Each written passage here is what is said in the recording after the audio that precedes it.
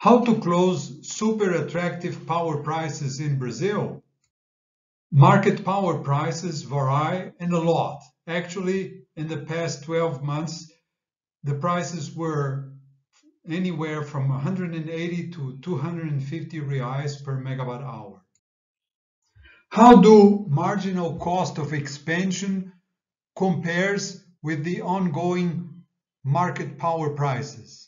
Well, it basically depends on the interest rates, on the exchange rate, on the amortization that is used to recoup the capital expenditure, and of course the country risk.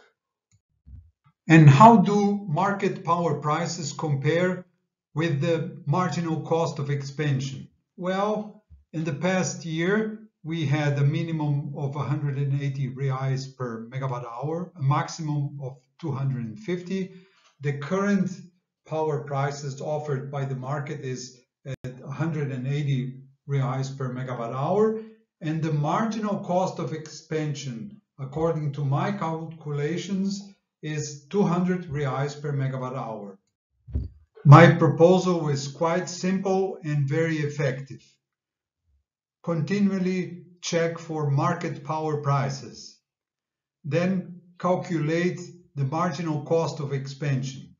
If the market prices are below the marginal cost of expansion, there is an opportunity to be considered.